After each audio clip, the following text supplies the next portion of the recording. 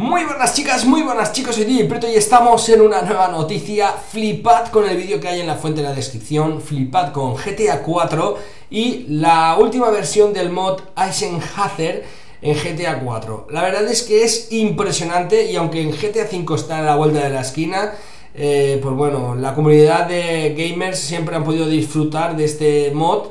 Eh, y ahora está la última versión, ¿no? De un juego que luce que es del 2008 y parece que, con este mod se haya lanzado ayer, ¿no? Realmente espectacular y si han logrado hacer esto con GTA 4 no me puedo imaginar lo que harán con GTA 5 eh, cuando esté en acción y lo que puedan hacer realmente espectacular.